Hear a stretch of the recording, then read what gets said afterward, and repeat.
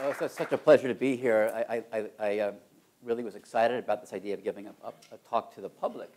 Um, I often talk to academic audiences and colleagues, and um, just thinking about uh, how to um, present ideas clearly, I think is, a, is an important uh, um, challenge and opportunity for, for people and academics. Um, so I'm very excited about the prospects for understanding how our minds work. That's my motivation for being in this field of artificial intelligence. Um, the word artificial intelligence is interesting. I often think it, the field should have been called computational intelligence because I'd like to see the questions and answers apply to human minds as well as to the artifacts that we're studying or building.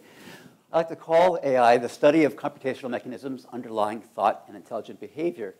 Now, in 1955, when John McCarthy first came up with that phrase, he told me personally, he came up with that phrase to put the flag on the pole of what he meant. Um, in the 50s, artificial was a very big word, I guess. It meant we're going to create something new that's like humans um, to find how to make machines solve kinds of problems now reserved for people um, was, was in the proposal. Um, now, the proposal is so well written, I think it could be funded today if it was handed to the NSF for some grant money. Uh, it, it's, uh, it's timeless in some of the questions it's asking, but it called out perception, learning, reasoning, and natural language as four pillars um, of human competency or intelligence. Uh, and since then, we have more than just four pillars. We have a whole set of disciplines and subdisciplines uh, um, within the umbrella of what they say the expanding umbrella of what's called artificial intelligence these days. And it's great that some of these meetings and conferences like machine vision typically are much larger these days than even the main AI conference, which is broader in terms of its scope and, number of topics. Now, there's an interesting notion of the perceptions of advances in AI versus the, the, the, the, the reality of the long-term uh, results. We often hear about Watson, and, and the public gets excited watching TV, and Jeopardy's being, being uh, defeated. Uh, sorry, the, the humans playing Jeopardy, the automated driving issues, uh, new kinds of, of, avatars, the AlphaGo work, for example. But in reality, there's been a, a, constant stream coming out of the AI community, even defined narrowly. So for example, in the um, late 90s, a nice pipeline that actually recognized handwriting, used a language model to back it up and raise the probability of correctness, was put into service with the US Postal Service and now worldwide. And in the US alone, it's handling um, uh, 25 billion letters per year, saving um, hundreds of millions of dollars. And it really just recognizes some of the, the in the rough um, addresses on envelopes. And this is just one of many, many projects um, that you don't really hear about, that you might call these results running under the hood of, of our society, uh, things we, we care about. Um, there are tremendous opportunities ahead, and, and of course some already in progress in terms of delivery of possibilities um, for taking lots of data, which is now being becoming more, more so available, and building predictive models that generate probabilities of outcomes that we care about, like, for example, what illnesses are present given a set of symptoms from a patient, or what's the weather going to be like in four days.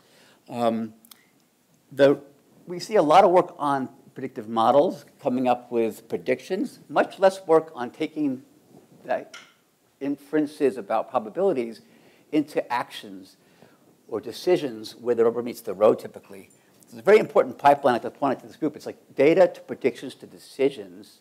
And it's not just for automation, but it's also to advise people who might want to get an extra boost or a perspective from a machine or from a large data set to build insights in taking action, for example, in a safety critical setting or a high stakes situation. Now, I often say that AI all up, and I mean machine learning, planning algorithms, um, algorithms that do optimization of various kinds, is a sleeping giant for healthcare. Um, I've studied healthcare very carefully, and there are so many places where we can do a great job at saving money while increasing or enhancing the quality of healthcare. As an example, a few years ago, uh, back in 2008, our team fielded a system called Readmissions Manager. It was called RAM, uh, and it, it, it was, it's been distributed around the world.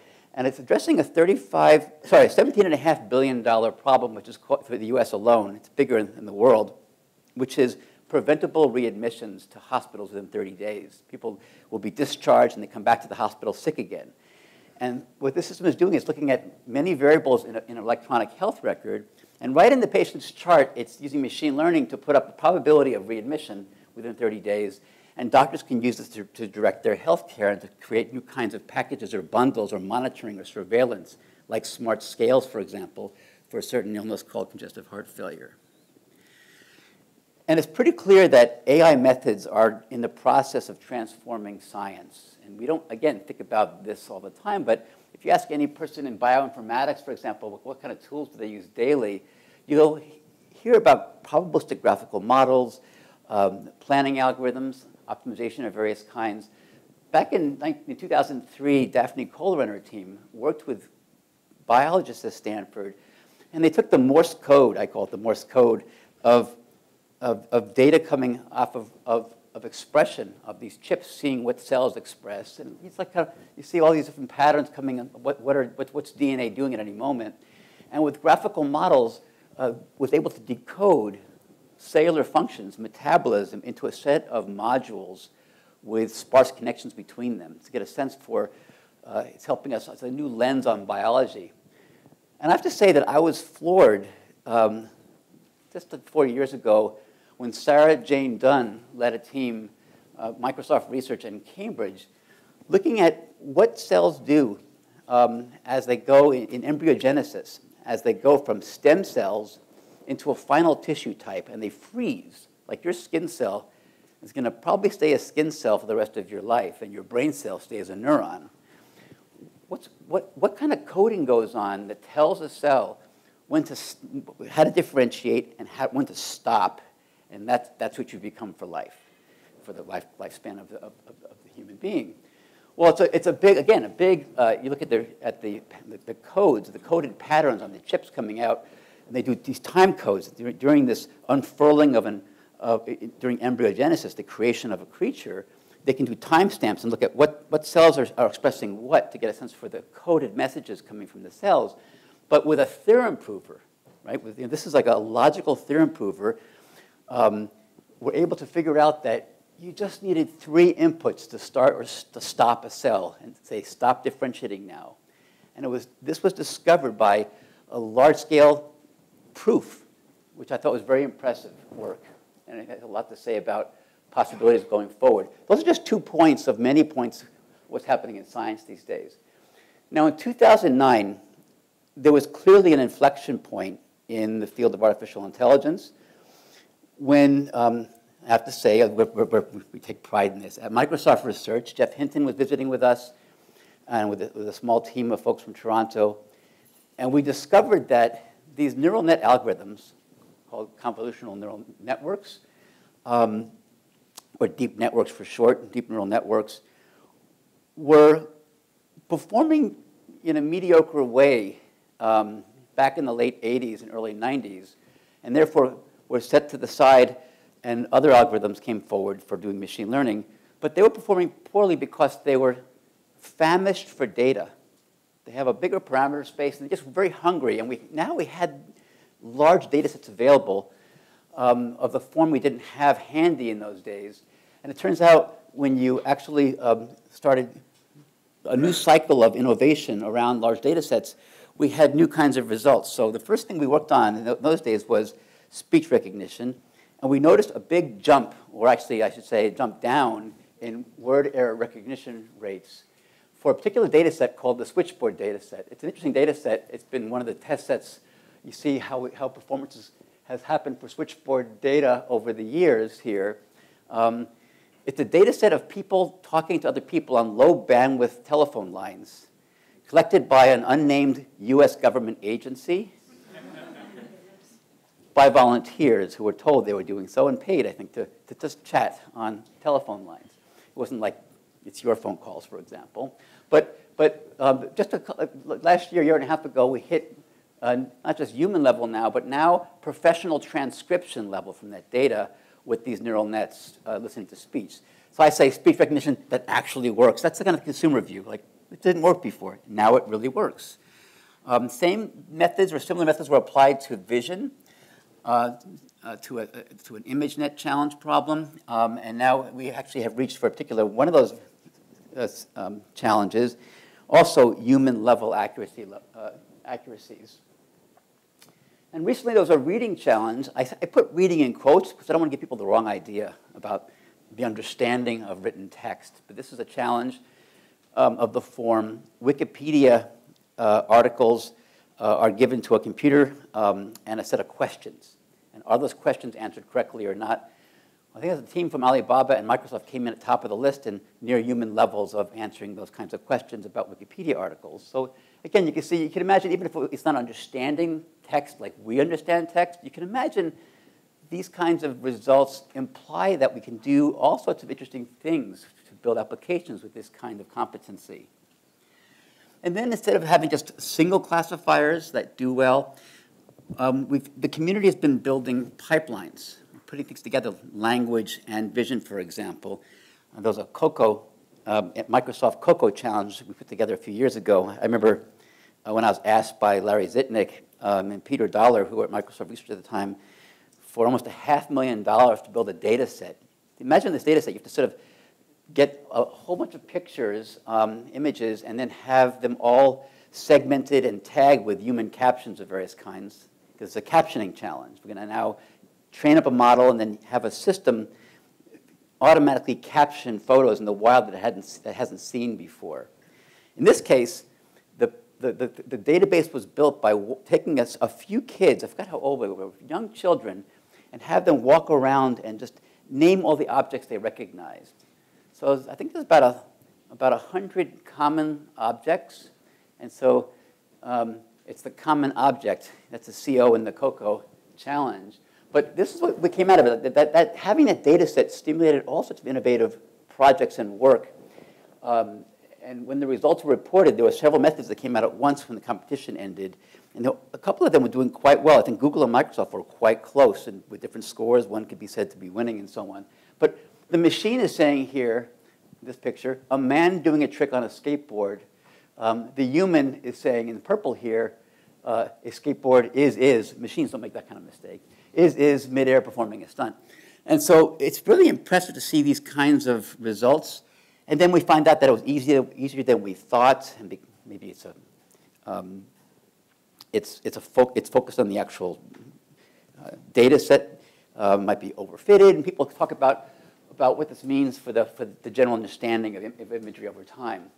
And research is continuing now. So now there's been, been a, a, lot of interesting work on looking at video automatically and interpreting by machine uh, what the machine is seeing from video and so on. And I've been really impressed with how fast, just, I would say, I would say just, but these, these classifiers or, or pattern recognizers being more accurate, how that kind, those kinds of, those kinds of enhancements have been pressed into service. So at Microsoft, for example, uh, just uh, maybe four or five years ago, we were all at the edge of our seats at a conference showing off speech-to-speech -speech translation from, from um, English to Mandarin. Actually, it was in China, in Tianjin. I was there, and we thought it wasn't going to work. And there was a big pause as Rick Rashid was talking. And then it started working. And, and I remember turning around, and one of the Chinese grad students was taking her, her translator headphone off her ear with a tear in her eye, as it was Rick Rashid's voice speaking in Mandarin. But today, we have Skype Translator and other companies doing very similar things with many languages speech to speech in this case. Uh, I daily use this Cortana, which is Microsoft's uh, agent uh, feature, um, which here's, here's, here's what my morning looks like. I, I, I boot up my laptop and I see uh, a promise that I made in email that was picked out of my email messages. Um, and it says, you mentioned to the MSR labs directors and four others that you plan to distribute a document this weekend. I go, oh boy, I better do that. And how many, raise your hand if, you, if you've gotten uh, this kind of uh, concern, if, you, if you've been concerned about something you promised somebody here. Uh, I will send you a title and abstract shortly, but half the academics in the room will say, I, have been there, you know. But in this case, Cortana is identifying my promises and figuring out which ones I'll probably forget and it's sort of putting them up for me and, and uh, also trying to give me a, a, sense for the timing of when that's most important. So it's daily life. And then, of course, we have these high stakes uh, new capabilities, um, and I'll get back into this in a few minutes in terms of some of the ethical issues. But even cars now are partly uh, self-driving. Um, and uh, like some of these things. Always keep your hands on the, on the wheel, pay attention to the road. But this is actually, you know, I drive one of these Teslas. I've been experimenting with this. I was talking to someone in the audience about sometimes uh, to, to, my own demise. Uh, we'll hear about that later also. Um, and then now there actually are tools available now that you can program to. So Microsoft has cognitive services. Other companies, Amazon has something on their cloud services. But in this case, there are tools you can now write software and call services that will, for example, recognize gender and age and emotion among other things, um, uh, in your software. So I thought today that with that background, I wanted to talk about three kind of aspirations that I think about a lot. And, and maybe we can talk, we'll have some chance to reflect together with questions a little bit later. Attain more general intelligence, master human AI collaboration, and address the influences of AI on people and society. I think all very uh, important areas of, of endeavor, challenge problems, and opportunities for all of us. So let's start with attain more general intelligence. So I'm going to basically make a comment that Herb Simon and Allen Newell, uh, John McCarthy, um, many others, um, Nathaniel Rochester, people who wrote that original proposal to, uh, for that summer workshop um, that I mentioned earlier, um, would be wholly unimpressed by progress. It's really amazing how slow progress has been in some ways. I think if you look at the proposal that was written in 1955 and then fielded in 1956 to the government for some funding, there was a sense that that summer workshop, you know, that, there'll be some really impressive progress made in the summer of 1956 that just hasn't really even happened yet to this day we really have created these very, very narrow wedges of intelligence that are almost like savants. Um, they, they don't, it's not clear we have principles of intelligence in the open world. Um, we have no way of really explaining so many mysteries of human intellect to this day.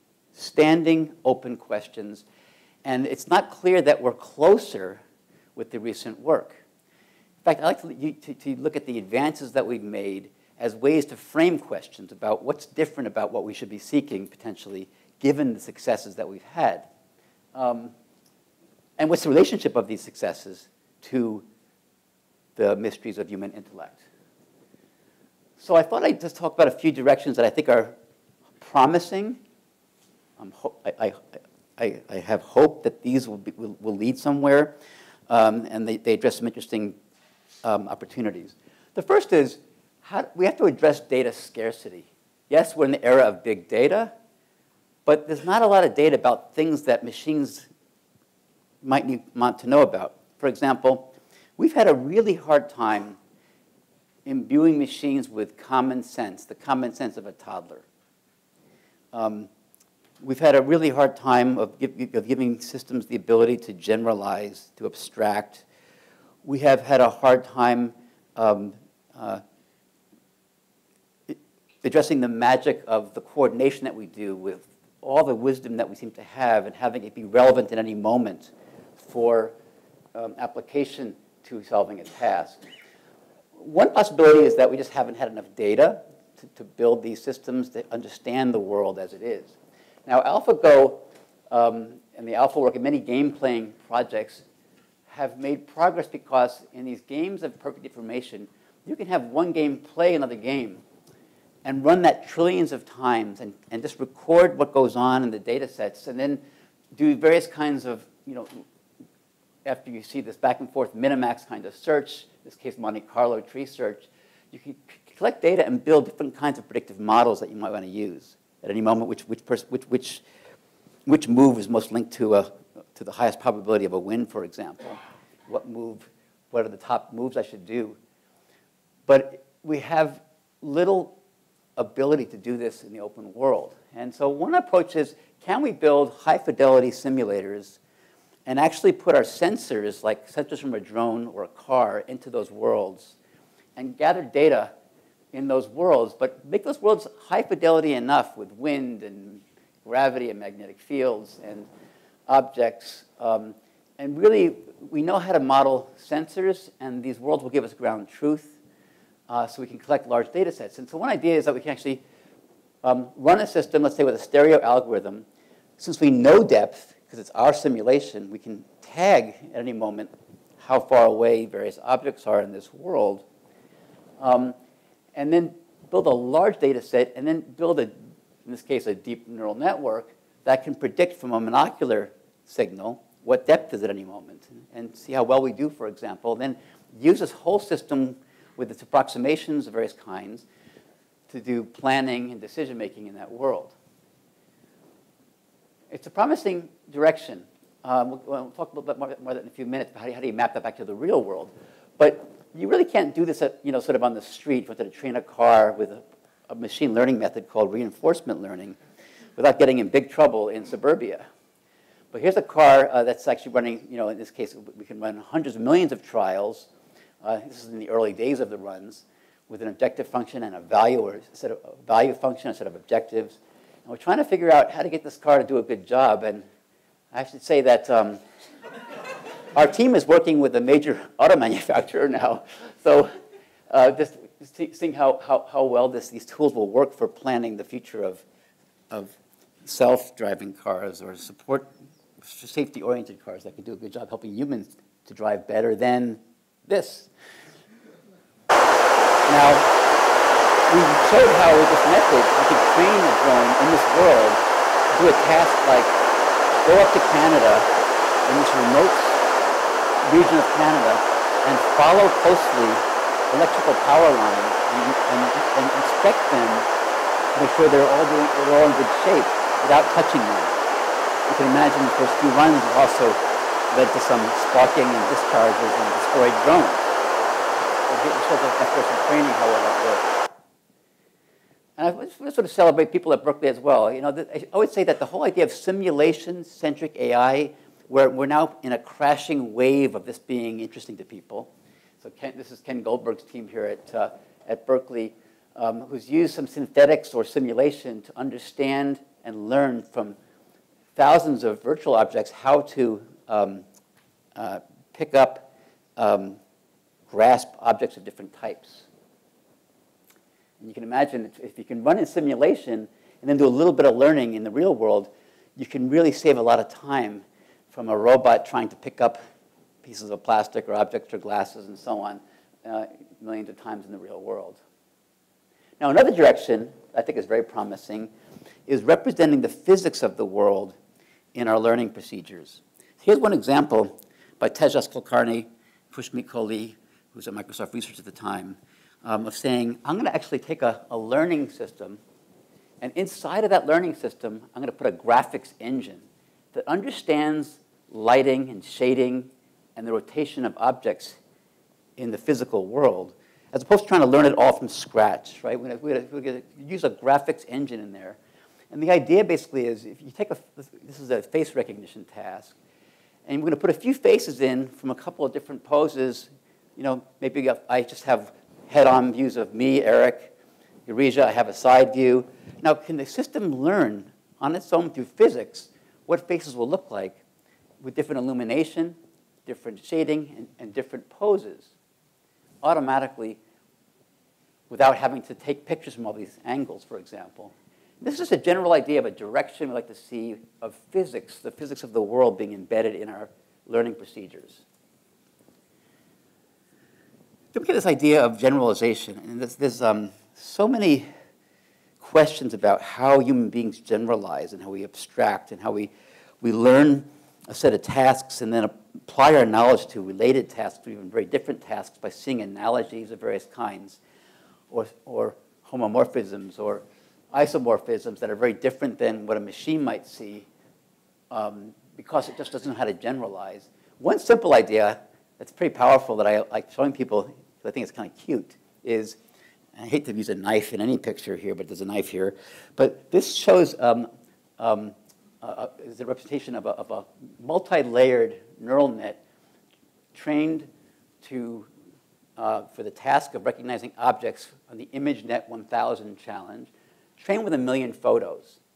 So here's a net, took a lot of time, the machine huffed and puffed, set all those parameters right, and now it can see pretty well, I think this one's at almost human level, um, uh, the objects in that challenge set.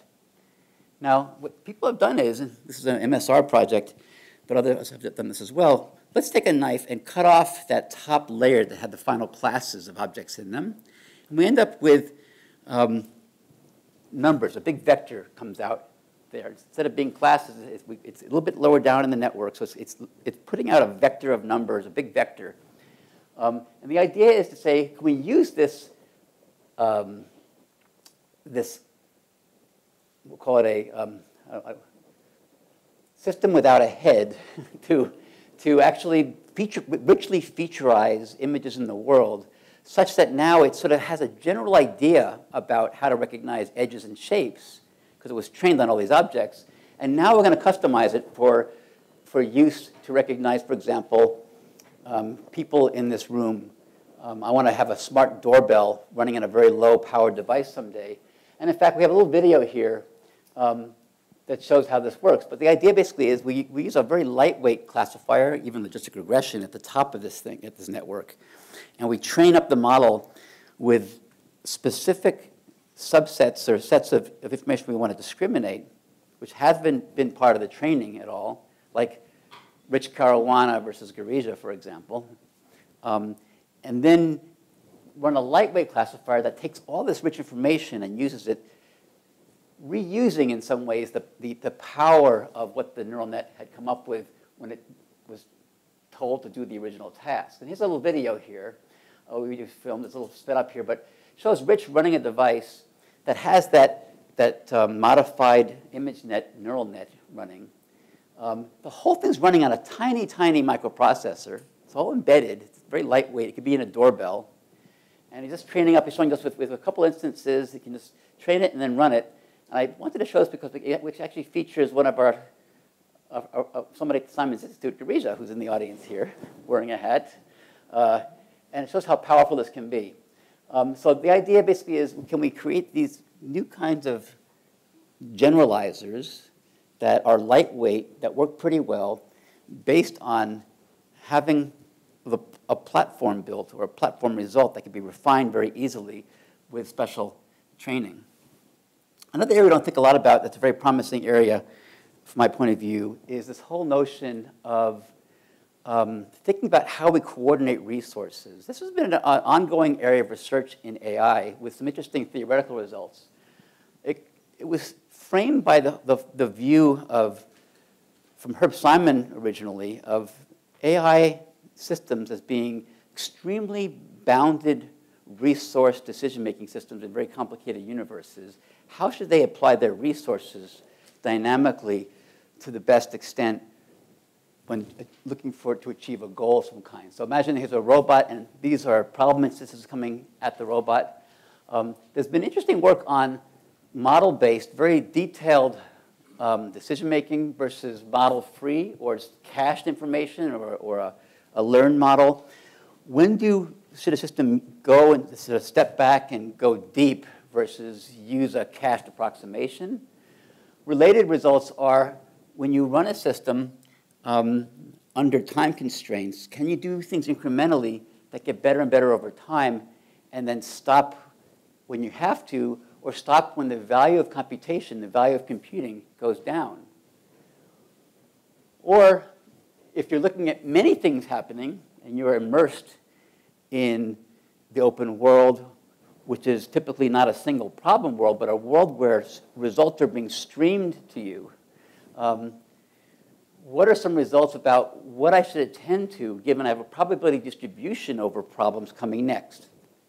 And we have some, given some assumptions, you can actually say some very, very strong things about a model of computational anxiety, what we should be worrying about at any moment when we have some idle time. That actually, looking at the results, kind of maps to the way I feel most of the time. I, if, if I, and, and when, when it doesn't, I, I think about like, okay, are my assumptions wrong or am I, am I just not an ideal bounded rational agent? And in a twist of, of, of uh, expectation, for me at least, it's been fabulous seeing some of the work, and I was part of this kind of research in this area of bounded rationality in the 80s and 90s, and continuing to this day, that psychologists now have taken the ideas from artificial intelligence, from computer science, and they're actually showing, like for example, bounded optimality came from the CS or CS work, showing these results apply to human beings. And they're formulating their, their projects looking at computational models and theories that came out of AI to people being stressed to see things like visual search, for example. So that said, um, one of the directions our team has been pursuing, I would call this, our, the pursuit of integrative AI. Um, the idea here is um, we know we have very narrow wedges of expertise and competency. Can we take a bunch of these areas, like we, we know we, do, we can do machine vision well, we can do speech recognition well, we can do some language understanding. Can we actually build up systems that are pulling together and weaving together multiple competencies? And then by doing that and coming up with a real world setting, look at the problems of coordination and reflection and learning or learning challenges that would make this work better to understand what it might be to build a system that's calling upon multiple competencies as a direction for, as a, as a, a thematic direction for AI research. Now, the hint here, or the background here, is that there's a multiple resource theory of mind that psychologists have been looking at for many, many years. And they'll study issues, for example, like can I um, do two things at once, and how do human beings trade off um, uh, two visual tasks or vision and speech um, that probe this possibility that we actually, we're not, a, we're not single entities, but we're actually bundles of competency, hopefully, well coordinated, uh, and responding to different tasks dynamically.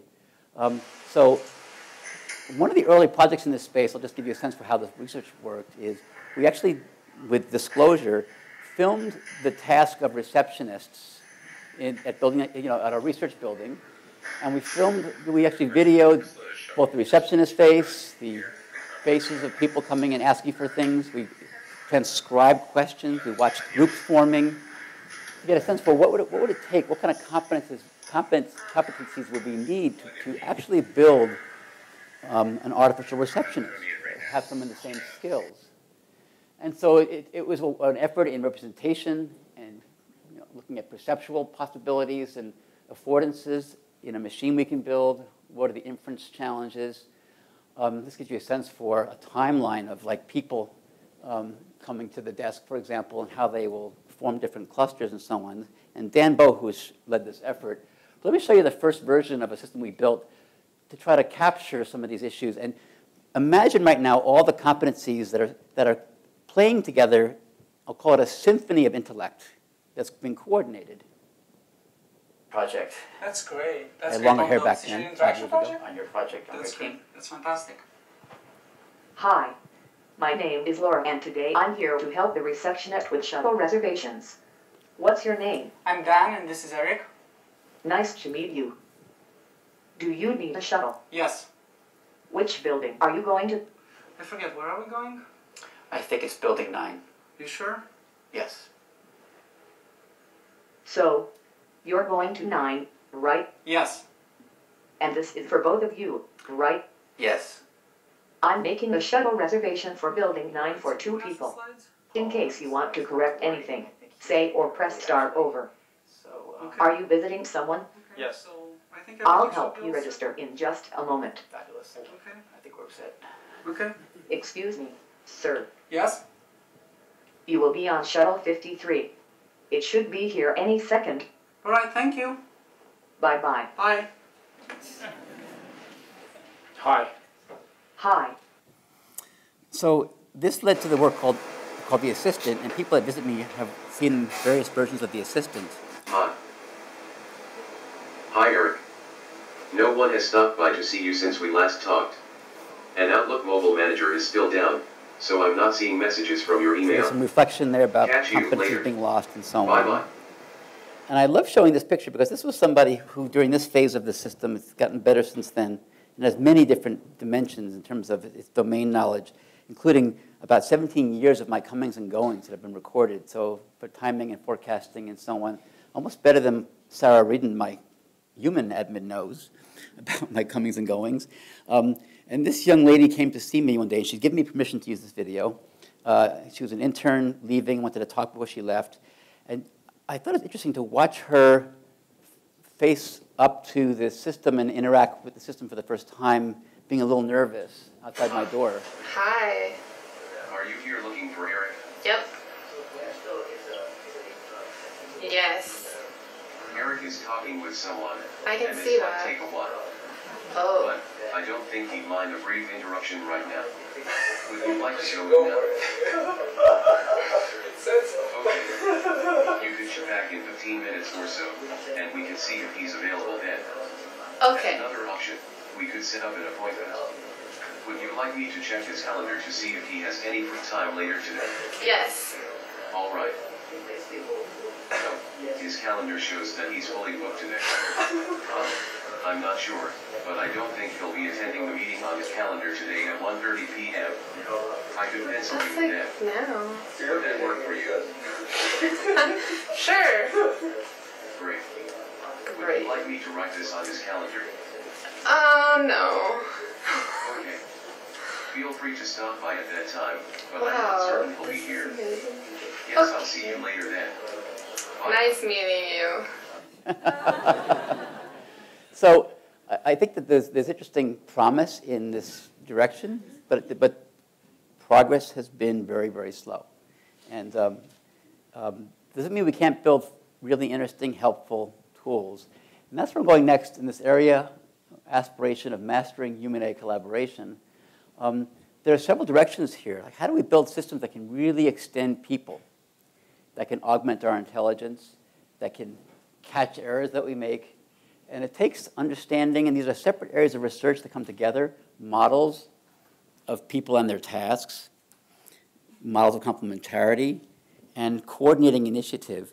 And my, the model in my mind that I like to think about when I think about possibilities is that human beings, their abilities here are on the y-axis, and we can look at our competencies as being almost magical. We're very powerful, but we have systematic blind spots, biases, and gaps in our abilities. And cognitive psychologists have studied these gaps for over 100 years. And here's the, the vision, right?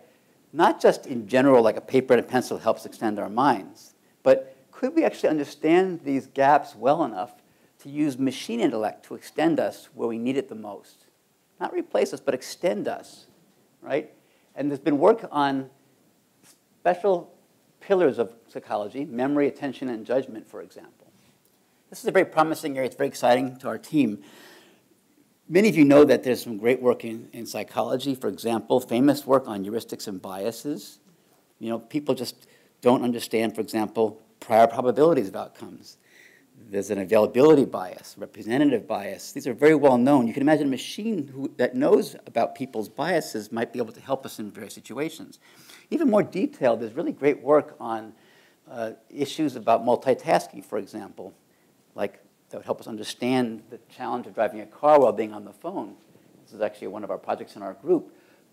The attention operating characteristic curve, it really gives us a sense for the human trades across people that we make in trying to do two things at once.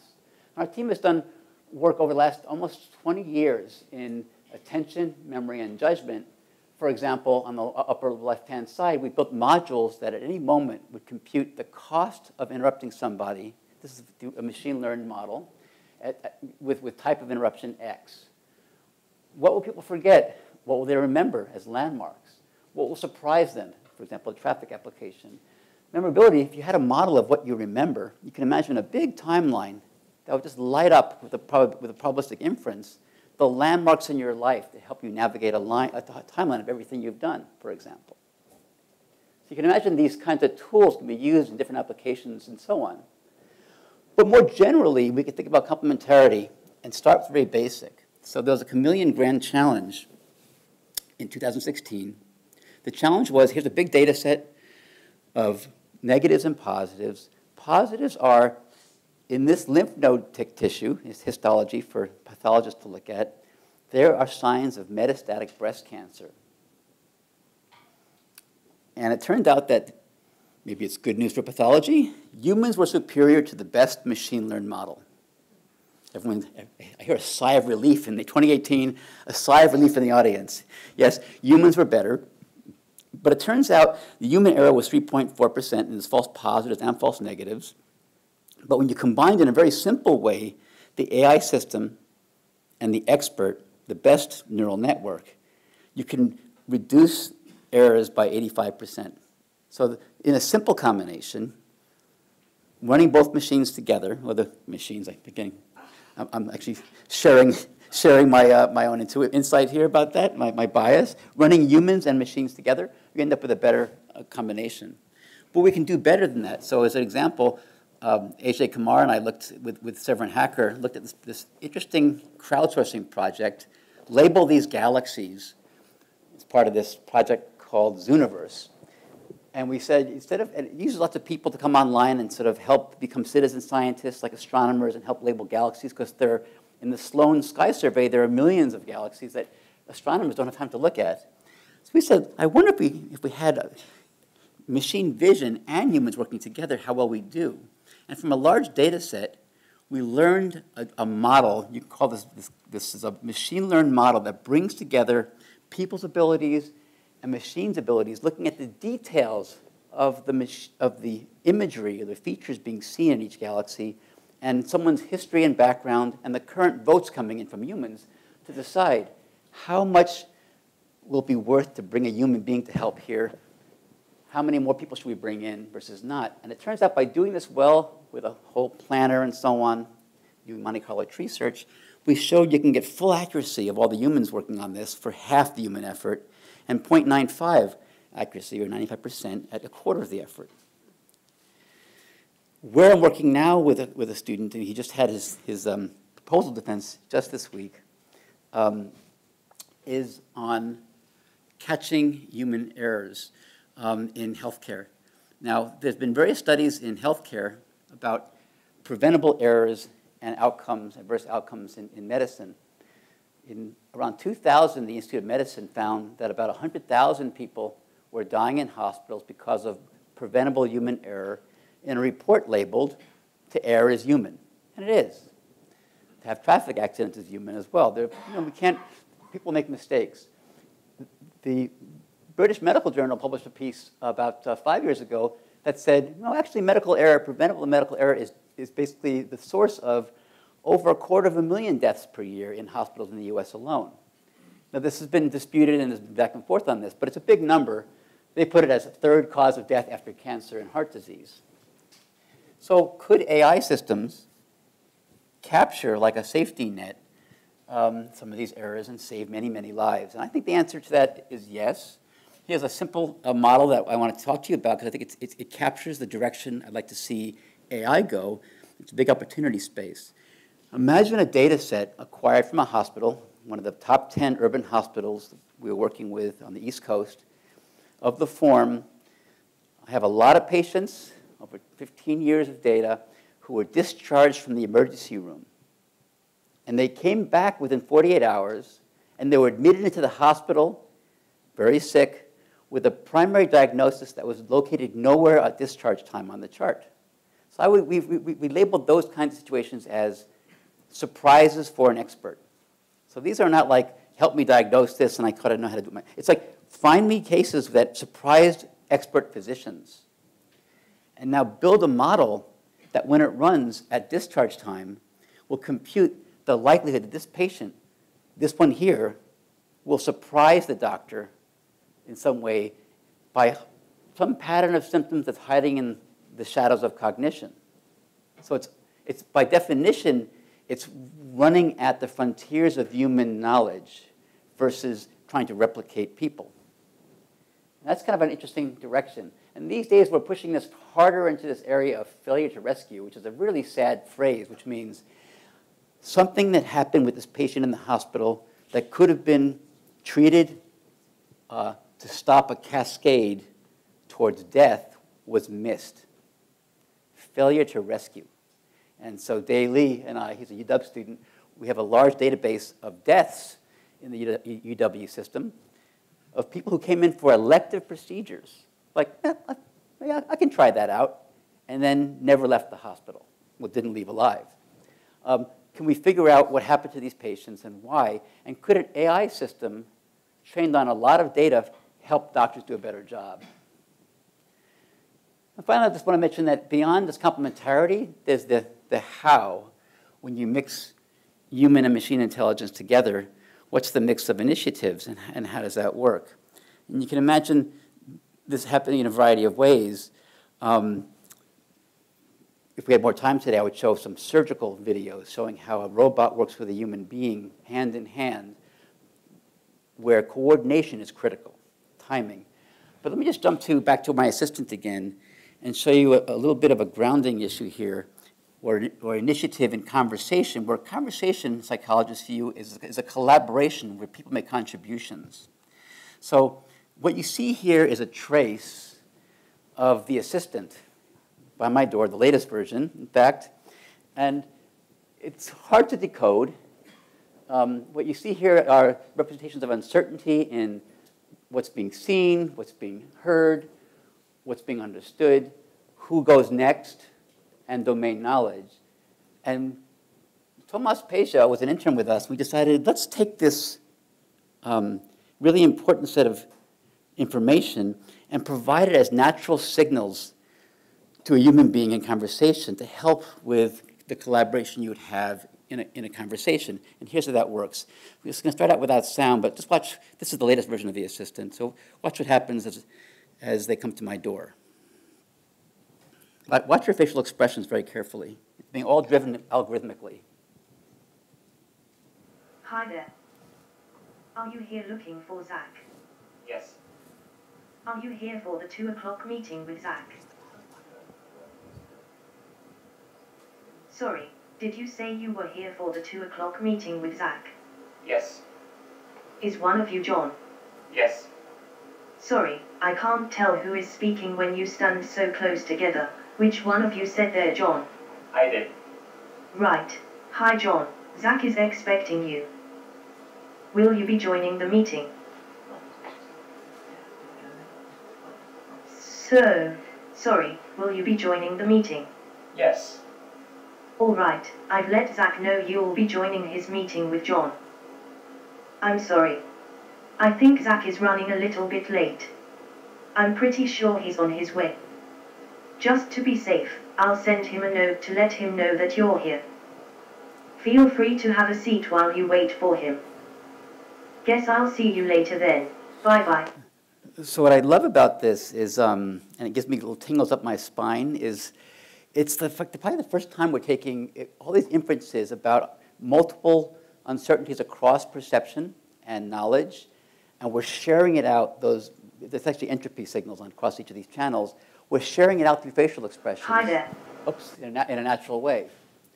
Let me um, move on to, to, the, um, to the influences of AI on people in society. I don't want to, I won't have time to spend, to go in, into depth in this area, but I think it's a great way to frame Q&A.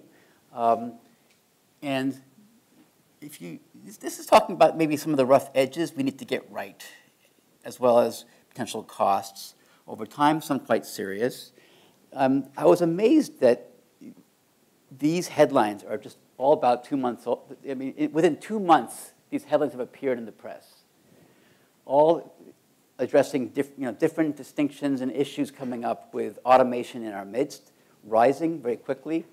Um, uh, this latest one, interesting, just, just came out last week about, you know, sort of algorithmically ads now, are, you know, extremist videos are sucking attention and also sucking ad, ad revenue and so on. Um, and so there are challenges as we bring AI into the open world. And the way I like to think about this is challenges with capabilities of AI systems, their abilities, blind spots and biases, um, issues around values, whose values are represented in the systems in terms of the alignment of the objectives of a human being or an enterprise with the system's values, how they're represented. When I say agency, that means who's the decision being made for or who owns the decision. Typically in healthcare, for example, we say the patient, the patient is the principal agent of any medical decision. Misuse. Um, there was recently a story about a, um, of, an arrest um, in a country where a facial recognition, facial recognition by report, a facial recognition system was aimed at a large stadium full of people at a rock concert to identify somebody wanted for a crime. These kinds of powers coming to, via AI systems are interesting and concerning risks to um, core human rights, freedom of expression, freedom to assemble, freedom to, of speech. Um, there are other kinds of challenges coming to the fore, including privacy. Data is the fuel of these systems, various kinds of harms, exclusion, attention, persuasion of systems, algorithm persuasion, for example, about beliefs, for example. And one often unstated principle when I ask myself, well, why weren't these big concerns 15 years ago when I was a Stanford student, or 20 years ago? I think I'm underestimating these numbers actually now. 25 years ago. Uh, um, when successes in AI would be new insights about mind, and there'd be new possibilities for service to humanity.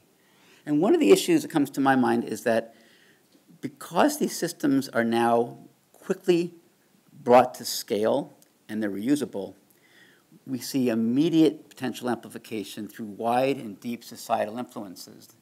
So I right now in the back of my mind, I see this network showing up, which is, okay, if I build an app, like that medical app that does readmissions, it might go to a thousand hospitals. So now it's just like not, not one expert system being used by one doctor, it has, could have major societal implications. Or a traffic system that's making recommendations on a wide scale over a city, for example. So we need to think about this moving forward.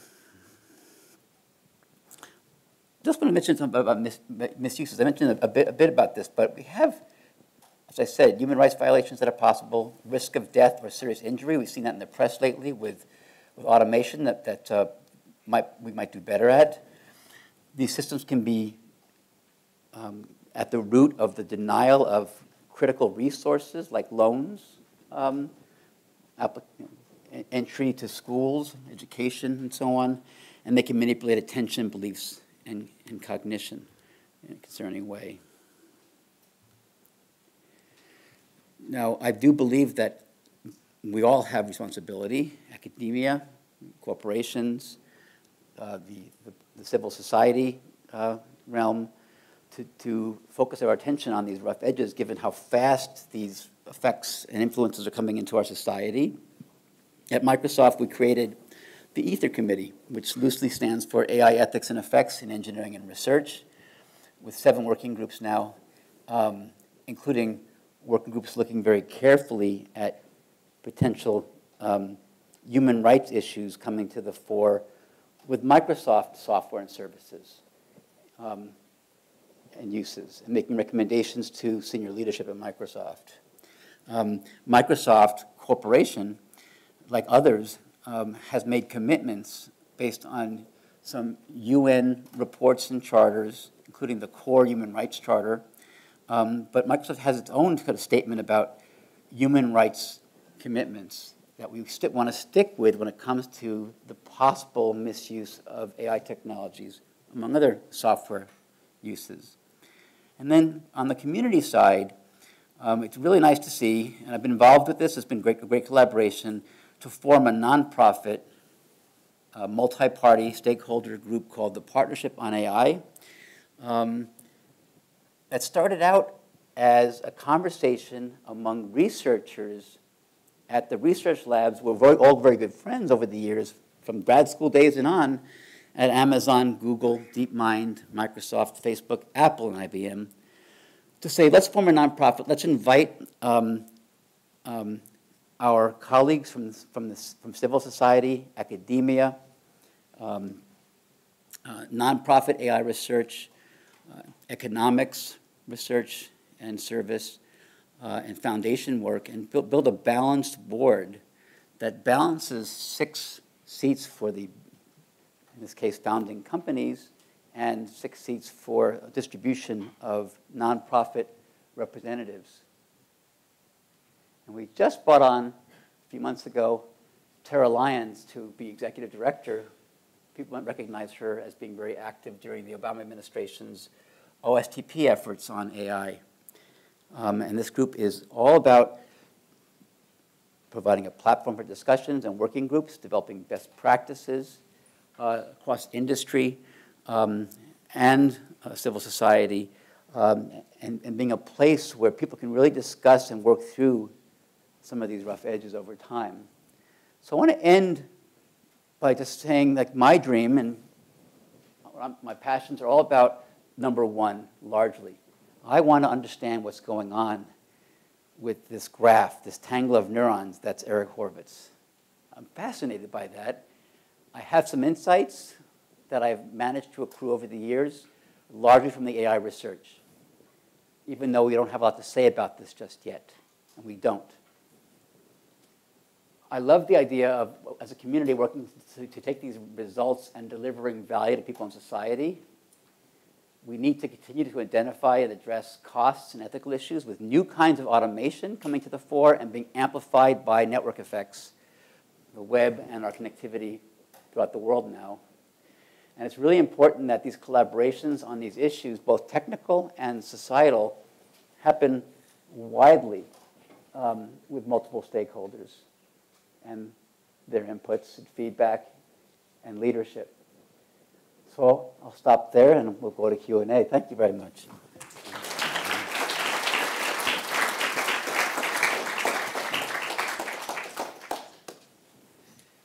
Thank you very much. It was great and uh, inspiring. Now, if you have um, questions, please, please raise your hand. Someone will uh, come with a microphone. And uh, when you have the microphone, you can uh, ask your questions.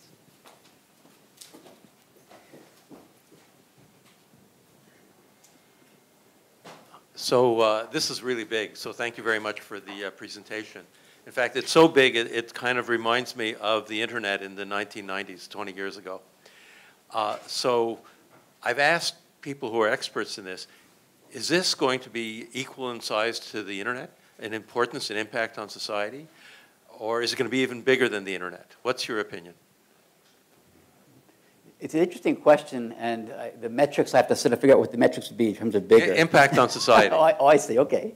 Um, boy, that's a, that's a tough one. The, the, the connectivity and um, influence of the internet is so incredible and so deep and so unexpected to me. Putting myself in my grad school shoes of somebody using some ex aim dot DARPA, that ARPA dot, you know, that whatever it was in those days. I guess dot ARPA. and um, uh, it depends how it goes, I would say. You know, we might be mostly dealing with classifiers and pattern recognizers for, the, for decades. And, but I came from a meeting this morning with several folks, I won't give away details of this, that we had different opinions on what's going to happen over the next 15 years with these technologies. And if some people at the meeting are correct, the answer to your question is absolutely. I'll leave it there.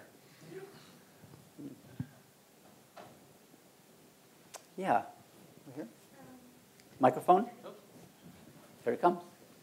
Here it comes. Have you uh, worked with uh, people working on deep voice at all and better um, text to speech because um, the, your assistant is very good at um, processing and understanding, but it's not a great talker.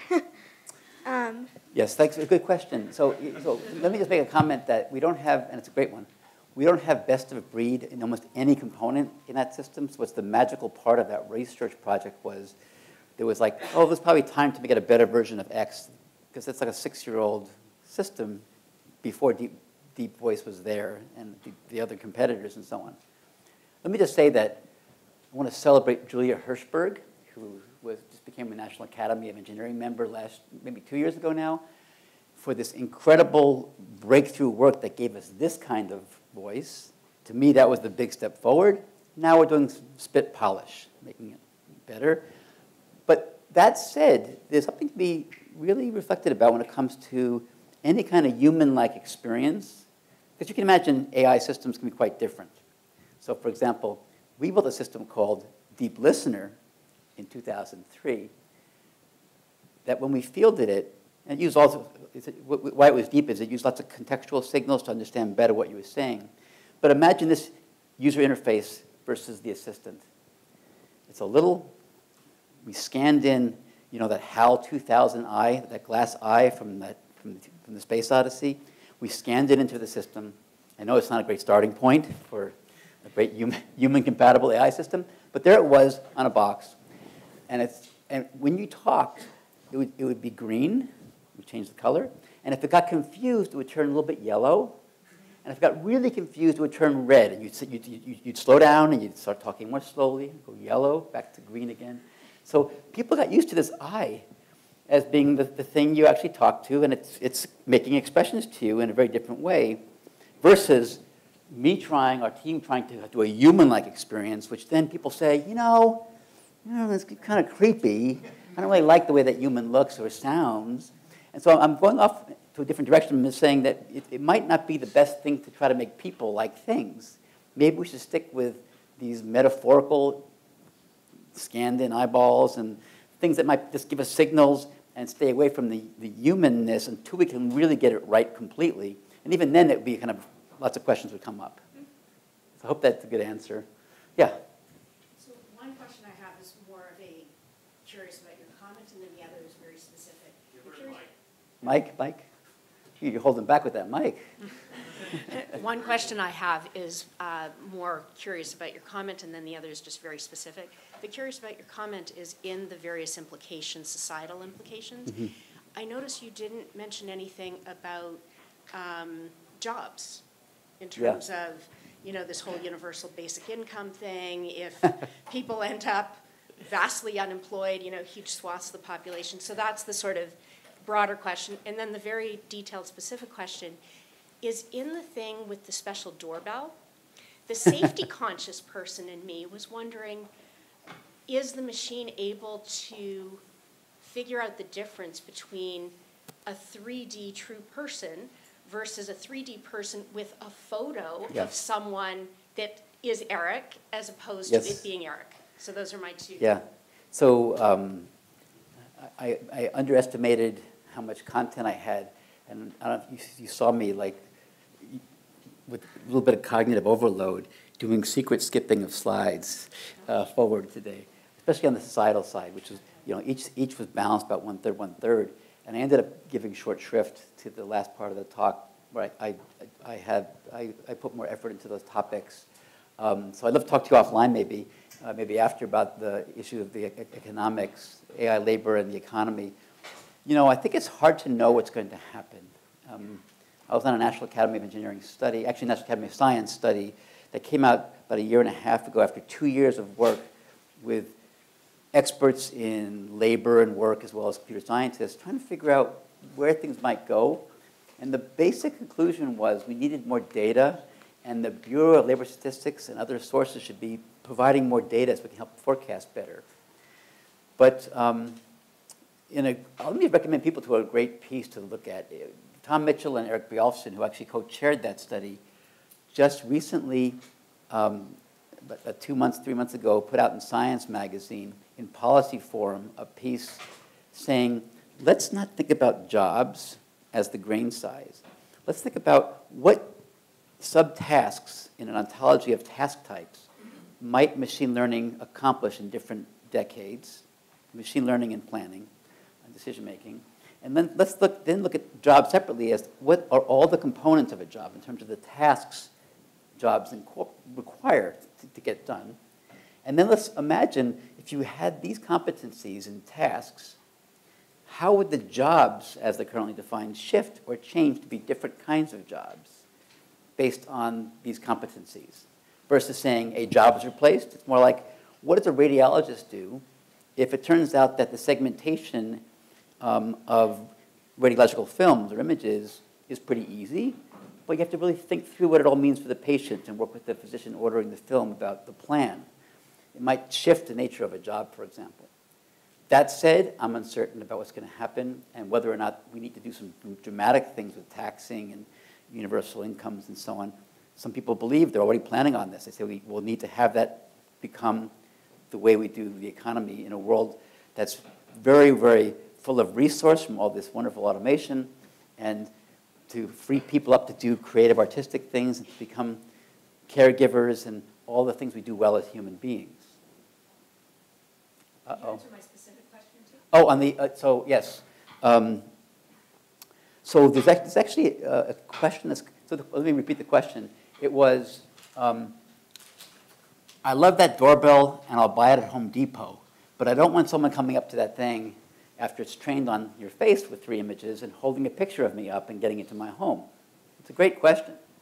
Um, so people are looking at this, and so I was just recently at a review at Microsoft Research uh, at a fa- tech fair we call TechFest, and this problem was being addressed with heat patterns and 3D analyses, and we showed, you know, pictures wouldn't do it, but the human being would. I think we'd have, we'd have to sort of work through the security model there, make sure it really does the right biometrics.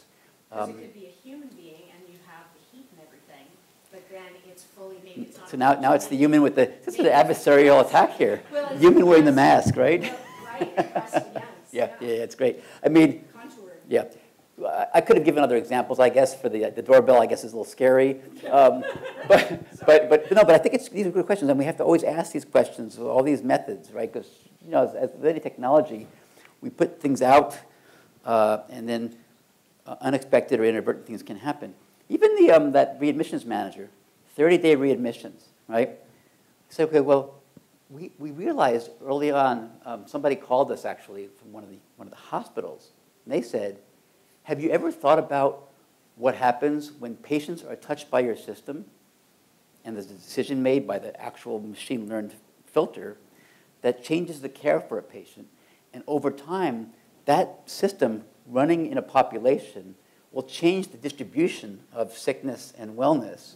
And if the model doesn't correct for it, it's not modeling its own effects.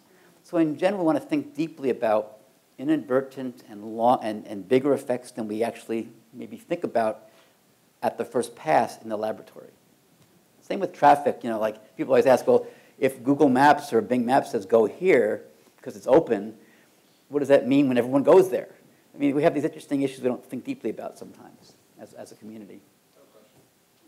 Yeah, so other questions? And I'll come back to you in, in just a minute. And you have another question? Yeah. Yes, okay, that's, thank you. Uh, Can you comment on how much better an AI may need to be than humans in order to be acceptable to humans? So uh, some of the examples, even the, the self-driving cars, the error rate's probably way lower with the self-driving car than it is for a human. Yeah. But any example of a negative result is sort of outweighed by humans. Uh, And so how much better do you think it may need to be? And I know this Yeah. is probably sort of use case dependent in some ways, Yeah. right? And, and it's a discussion point we can have over coffee too, after the, I guess, after the, the formal session here.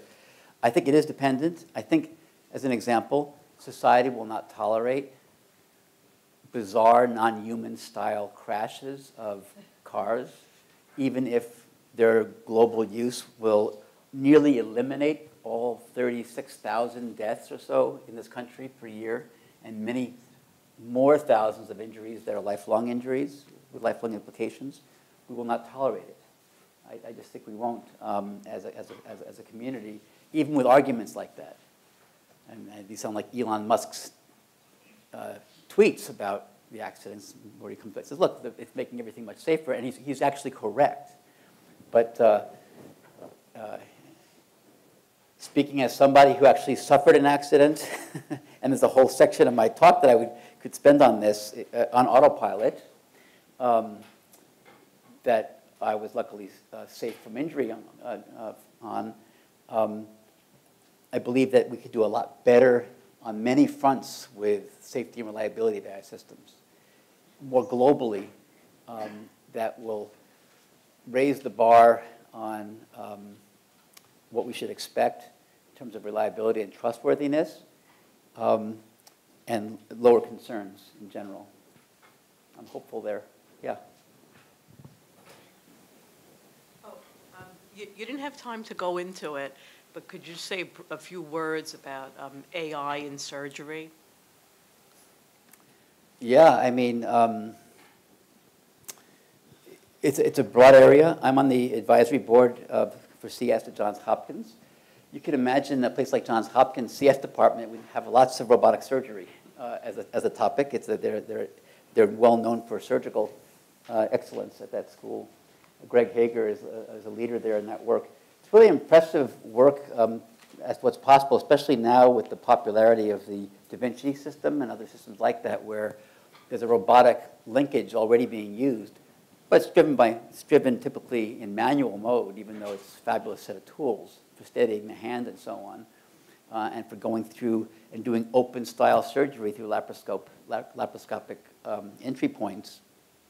Um, but you can imagine um, all sorts of interesting work. There's a, I have a video I was going to show if I had time today of some work done showing humans working with a machine at, at a pedi- at the pediatric hospital in Washington, D.C., on a very complicated repair called anastomosis repair. It's kind of when you take two tubes like intestine and put them together, and showing how much better the machine is at stitching than a human would be.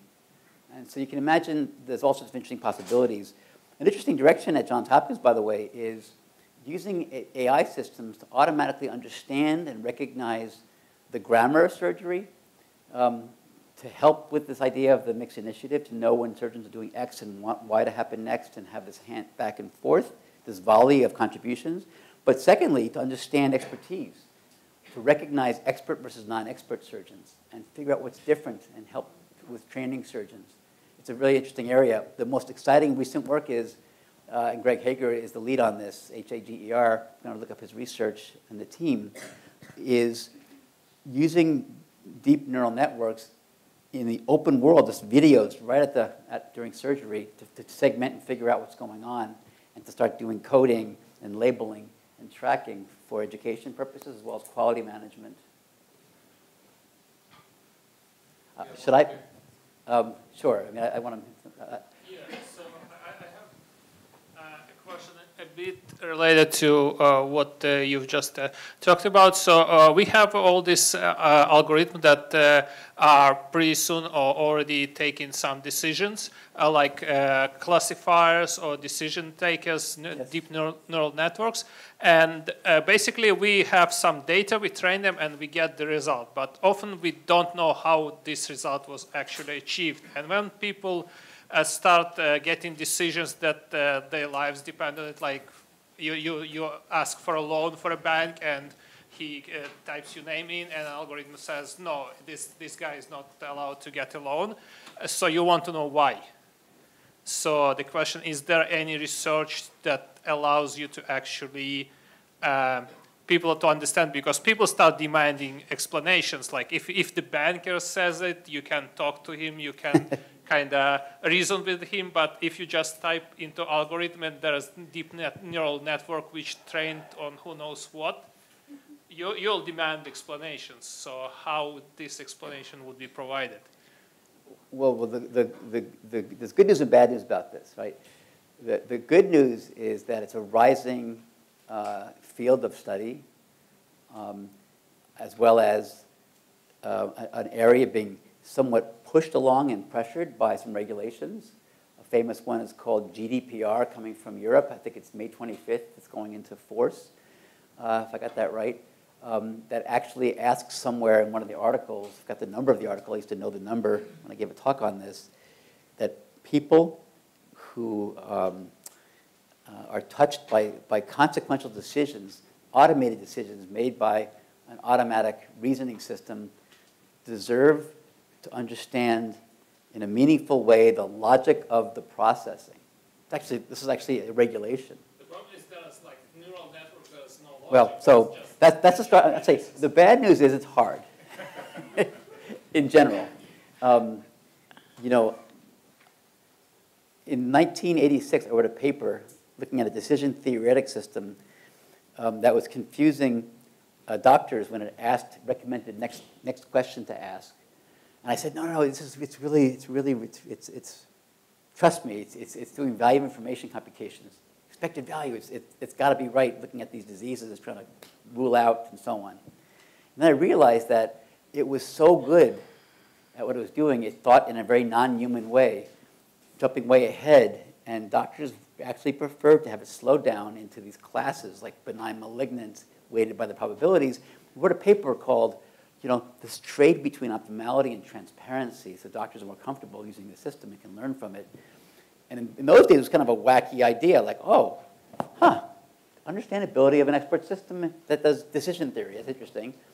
But going back earlier, explanation was central, believe it or not, in the expert systems era, the rule-based expert systems days. And there were actual tutorials and papers being written. Randy Teach did a, a paper on this topic that doctors needed to understand.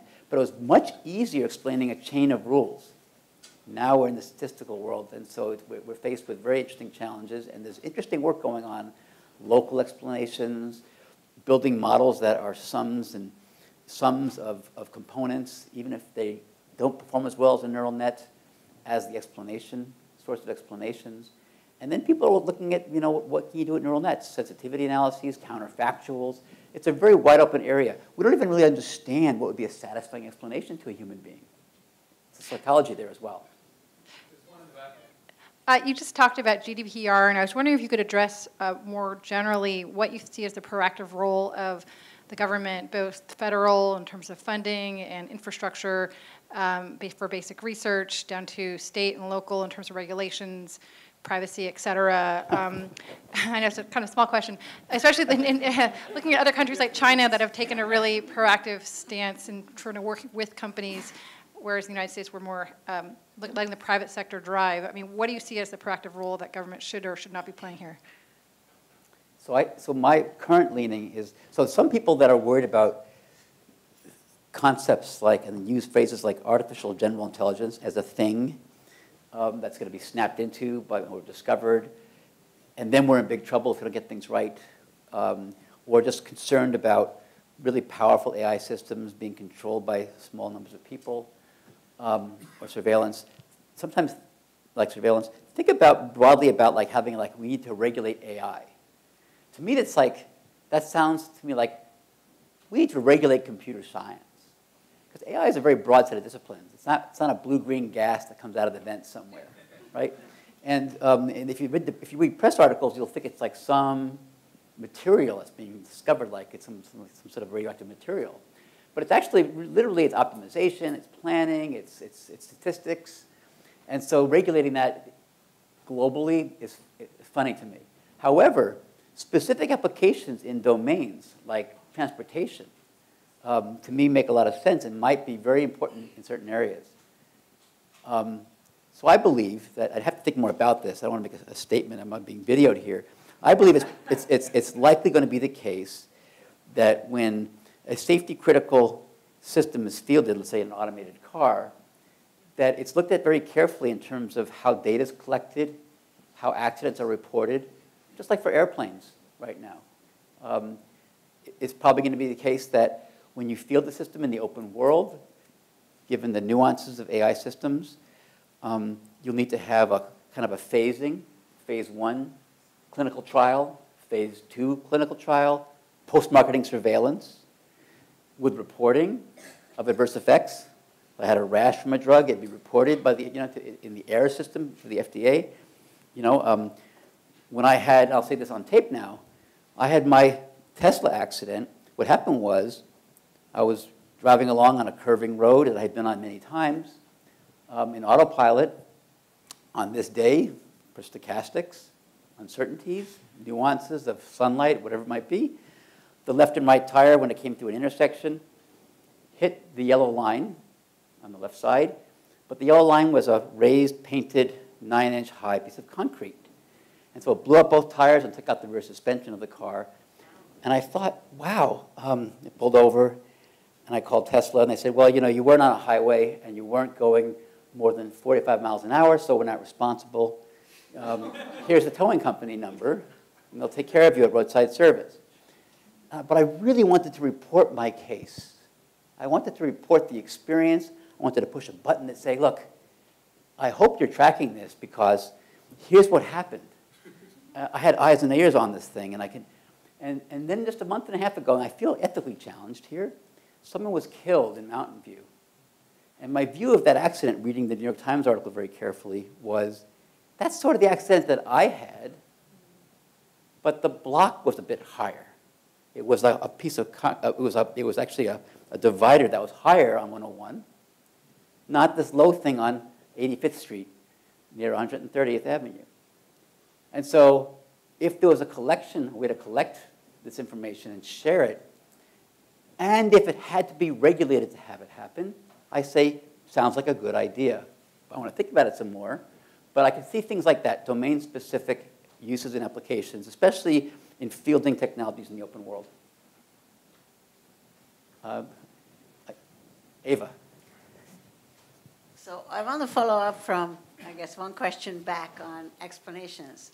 So one interesting thing you touched on, but I guess I hope you have more, maybe you can respond more about, is there human biases um, and these learning systems often learn from human experience. Yeah. So that means the learning system is encoding our biases. Yes.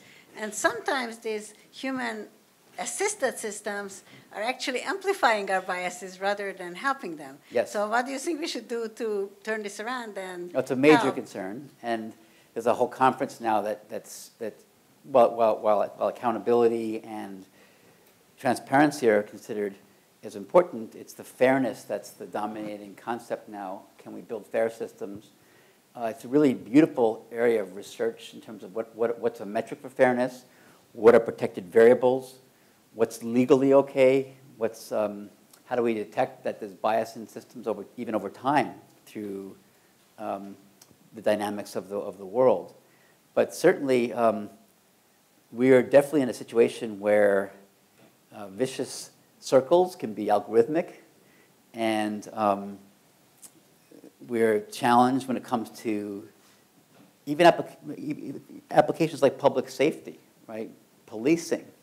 Um, we know for, and there are studies at ACLU and other, other civil liberties groups, that we have all sorts of challenges with how we orient ourselves to data sets and how are they collected. Well, you know, there was more observations of this part of town, and since the police were looking over here more, they kind of confirmed that there are problems in this part of town, so we'll put more police there, more observations, get more data about this part versus that side of the tracks. And you can imagine this goes into issues of gender uh, and race, um, other, other dimensions of, of demographics. Um, there are so many deep biases in our society. You know, my wife, should I say my partner, often points out that even in this, I think, and I could check this again on video here, like even in the 60s apparently, in the United States, women had to get the permission of their husbands to even have a charge card. So you're telling me we don't have biases in our society a few years later? It's deep, and race in particular too, very deep. So um, we have a group in the Aether Committee just focused on fairness and bias from Microsoft's point of view, and it's a central focus of the partnership on AI as well. And of course, there's a conference, well, there's a conference now called FAT Splat. Uh, used to be called FAT-ML, Fairness, Accountable, and Transparent Machine Learning. And the group was rightly so figured out that it's not just ML, it's other algorithms as well, so now it became FAT asterisk. And I heard from Hannah Wallach, might want to to that to FAT Splat, is the new name for the conference. But it's in its, it was in its first year this year as a formal conference, but it's been like three workshops to now. So it's an active area, and it's a very good comment. Um, it's a really big danger with these systems that network effect appears again. It shows, it pokes through the, the slide, and I, I think about the, the, network effects and the possible vicious circle. Yeah? Well, we are out of time with the... These are great questions, by the way. last question? All right, last question. Okay, good. Here you go. It seems to me that unless you believe there's something divine or metaphysical going on in the neural network of our minds, I don't. n- nor do I, that eventually, and maybe sooner than I personally might like, you'll be able to, in fact, replicate every human capability intellectually. I think it's somewhat ingenuous when you say, well, people will get different jobs if you're talking about receptionists. The question I have for you, I guess, is how long will it, assuming that we both agree that you'll be able to do everything that humans can do, how long will it be before you are obsolete and the people in this room that do what you do? And should we be, should we not be concerned about, not you particularly, but what do people do when they're all obsolete? So I'm so glad you asked this question as the last question today. Um, I, um, my hope, my hope is, and my belief is that the power and need of human beings for human beings will only get stronger in a world full of automation and automated intellect. And I foresee, maybe this is optimistic, the rise of what I like to call a caring economy, where there's a lot of wealth around from the automation, but the top compensated people are the best at providing human touch, human connection, human teaching, pedagogy. Um, and, and it's just, a, it's just the, the, the, the, the optimistic view that it might go very well for humanity. You don't think those things can be modeled too? If everything can be modeled, why can't those be? Let me just make a comment again. Um, and I'll end with this example, and we can talk out, out- in the, in the, atrium, in, the, in the lobby. Um, there's a, we had, again, at, at, a, at, at a deep dive with our senior leadership team at Microsoft, we looked at a, a set of future projects. And one of the projects coming out of our China lab, MSR Asia, was a system that could write a beautiful song. It's a deep neural network. It, it looks at songs and poetry in China, and it, it writes a beautiful song with lyrics, all novel.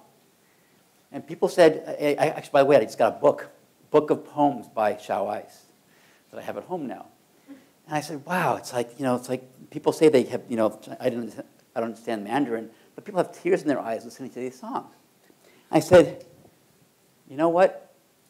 When I hear a song sung by a country western artist, I want a human being who experienced those lyrics. And I'll pay top dollar for that. Now let's end there. Thanks very much, everybody. Thank you.